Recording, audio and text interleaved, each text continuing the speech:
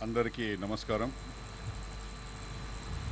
తెలుగు తల్లి ముద్దబిడ్డ సింహపురిలో పుట్టి ఆసేతు హిమాచలంలో సమస్త భారతావని హృదయాలను తన నడవడితో తన ఆకర్షణీయ ఆకర్షణీయమైన భాషతో గెలిచిన నాయకుడు పదహారణాల తెలుగుతనంతో నిండిన విగ్రహం అజాత శత్రువు భరతమాత సేవలో నిత్యం తరిస్తూనే తన నెల్లూరు గడ్డ అభివృద్ధికి నిరంతరం కృషి చేసే కర్మయోగి భారత ఉపరాష్ట్రపతి పదవికే వన్నె తెచ్చిన మహనీయుడు గౌరవనీయులు శ్రీ వెంకయ్య నాయుడు గారికి ఆకాశవాణి ఉద్యోగులు కళాకారులు అధికారుల తరఫున కృతజ్ఞతలు తెలిపే అవకాశం నాకు ఈనాడు కలగడం నా అదృష్టంగా భావిస్తున్నాను.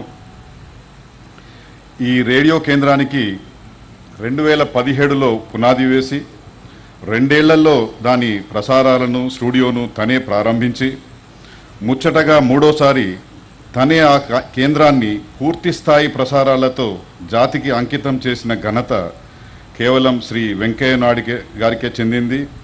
ఇది దేశంలోనే అత్యంత అరుదైన సన్నివేశం.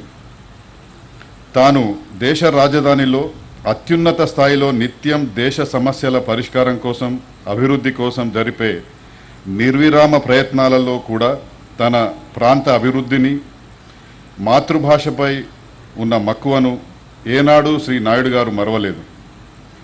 అంతర్జాతీయ మాతృభాషా దినోత్సవం రోజున నెల్లూరు ఆకాశవాణి కేంద్రాన్ని ప్రారంభించడం ఆయన మాతృభాష ప్రేమకు ఒక నిదర్శనం. అంతేకాదు నెల్లూరు కేంద్రం ప్రసారాలు ప్రారంభమైన మూడవ వార్షికోత్సవం సందర్భంగా ఈ ఫిబ్రవరిలో ఆయన విడుదల చేసిన అభినందన సందేశంలో నెల్లూరు కేంద్రం గత నవంబర్ వరదల సమయంలో చేసిన సేవలను కొనియాడారు. అది ఆయన ఎంత నిశితంగా ఈ కేంద్ర పనితీరును గమనిస్తున్నారో తెలియజేస్తుంది. అదే సందేశంలో నెల్లూరు ఆకాశవాణి కేంద్రం ఈ ప్రాంతపు యాసలో ప్రసారాల ద్వారా ప్రజల హృదయాలకు చేరువ కావాలని సలహా ఇచ్చారు. ఆయన క్షేత్రస్థాయి అవగాహనకు అది అద్దం పడుతుంది. నిండు హృదయంతో ఆయన ఆశీర్వదించిన ఈ ఆకాశవాణి కేంద్రం ఆయన చూపించిన మార్గాన్ని అనుసరించి ఉన్నత స్థాయి సేవలతో ప్రజల హృదయాలను చూరగొంటుందని నేను నమ్ముతున్నాను. ఇంతకుముందే సార్ మాట్లాడుతూ ఆల్ ఇండియా రేడియో దేశం అంతటికీ ఆల్ ఇండియా రేడియోగానే ఉండాలి అన్నారు. రెండు వందల భాషలు మాండలికాల్లో భార ఆల్ ఇండియా రేడియో తన ప్రసారాలను చేస్తుంది సార్. మీకు ఐఎన్బి మినిస్టర్గా ఉన్నారు కాబట్టి మీకు ఆ విషయం తెలుసు. ఆల్ ఇండియా రేడియో యొక్క ప్రత్యేకతే అది. మైక్రో టార్గెటింగ్ ద్వారా అతి చిన్న సమూహం ఒక జిల్లా స్థాయిలో కూడా అక్కడి ప్రాంత కళాకారులను అక్కడి ఉన్న విషయాలను అభివృద్ధి పథకాలను ప్రజలకు చేరువజేసి ప్రజల సమస్యల్ని అక్కడి పాలనా వ్యవస్థకు తెలియజేయడం ద్వారా ఒక వారధిలాగా పనిచేస్తుంది. ఇక ముందు కూడా నెల్లూరు కేంద్రం కూడా అలాగే పనిచేస్తుందని నేను ఆశిస్తున్నాను.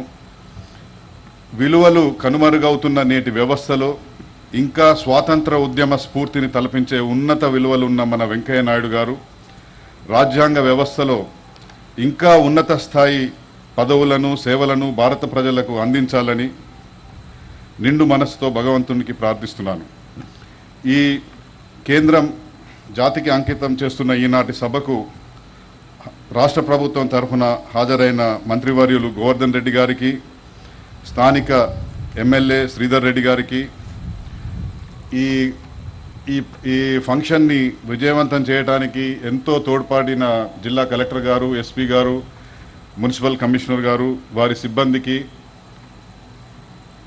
ఇక్కడికి వచ్చిన మీడియా మిత్రులందరికీ కూడా ఆకాశవాణి తరఫున నా కృతజ్ఞతలు తెలియజేస్తున్నాను. మా సమాచార ప్రసార శాఖ మంత్రిగా ఉన్నప్పటి నుండి వెంకయ్య నాయుడు గారి ఆశీస్సులు ప్రోత్సాహం సంస్థాపరంగా ఆకాశవాణికి వ్యక్తిగతంగా నాకు ఎప్పుడు ఉన్నాయి. అందుకు నేను ఆయనకు సదా రుణపడి ఉంటాను.